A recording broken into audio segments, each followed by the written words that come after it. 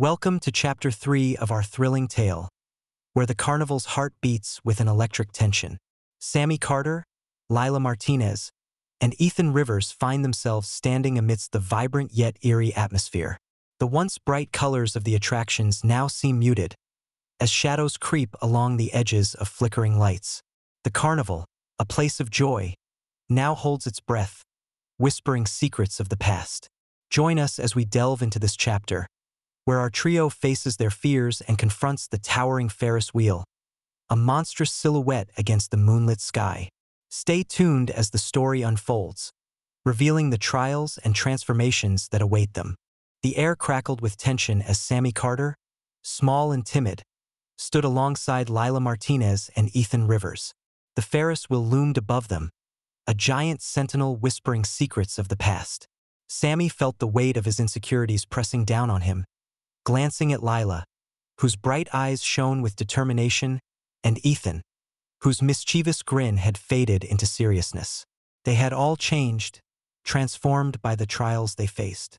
As they approached the Ferris wheel, the ground trembled, and a chilling wind swept through the carnival, carrying echoes of laughter twisted into cries of despair. Sammy recalled the haunted house that mirrored his deepest fears, the suffocating feeling of inadequacy haunting him. But now, united with his friends, he felt a spark of courage igniting within. As the children stepped closer to the Ferris wheel, the ground shook violently, and the carnival erupted into chaos. Rides spun wildly, laughter turning into screams. From the shadows emerged malevolent spirits, twisted figures with glowing eyes. Lila's protective instincts kicked in as she grabbed Sammy's hand, pulling him closer. Ethan stood at the front, ready to confront the horrors. The spirits swirled around them, taunting and whispering, their voices a cacophony of despair. But Sammy felt a surge of courage rise within him. We're not afraid of you, he shouted, his voice ringing out above the chaos. The spirits hesitated, caught off guard by the children's defiance. Lila stepped forward, her voice strong. We are more than our fears. We are friends. And together we are unstoppable.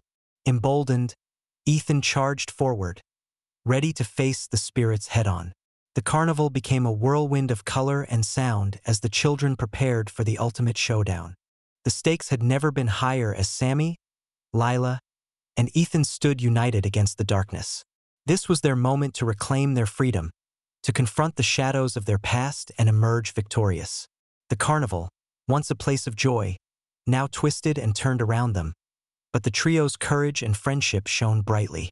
They had faced their fears, grown stronger together, and now they were ready to triumph. As the spirits flickered and faded, the children knew they had won. Their journey had transformed them, and they had proven that together, they were unstoppable. Join us next time as we continue this thrilling adventure. Don't forget to subscribe to Storyteller for more exciting chapters.